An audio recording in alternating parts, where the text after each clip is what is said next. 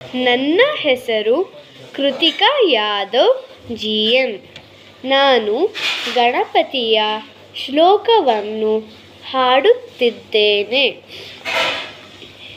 ಮುದಾಕರಾತಮೋದಕಂ ಸದಾ ವಿಮುಕ್ತಿ ಸಾಧಕಂ ಕಲಾದರಾವತಂಸಕಂ विलासिलोकरक्षकम् अनायकैकनायकं विलासिते भदैत्यकं नथाशुभाशुनाशकं नमामि तं विनायकं नमामि तं विनायकम्।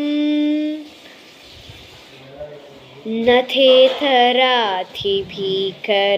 नवोदितार्कभास्वरं नमः सुरारिनिर्जरं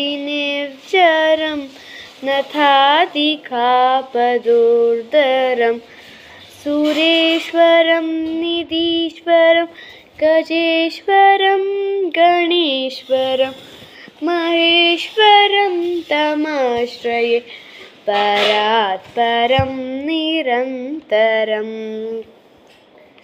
परात् परं निरन्तरम्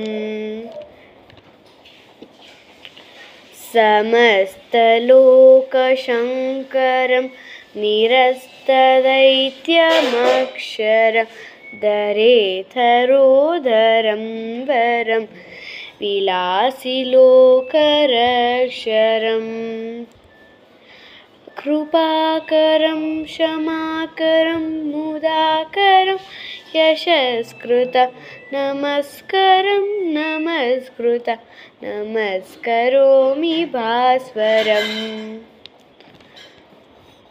अकिञ्चनातिमार्जनं चिरन्तनोक्तिभाजनं पुरारिपूर्वनन्दनं सुरारिगर्वचर्वणं प्रपञ्चनाशभीषणं धनञ्जयादिभूषणं कपोलदारवारणं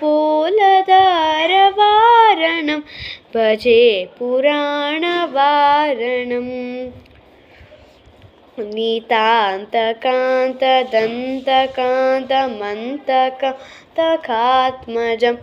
नीतान्तकान्तदन्तकान्तमन्तकान्तकात्मजम् आचिन्त्यरूपमन्तहीनमन्तराय कृन्तनम्। रुदन्तरे निरन्तरं वसन्तमेव योगिनां तमेकदन्तमेव तं तविञ्चयानि सन्ततम्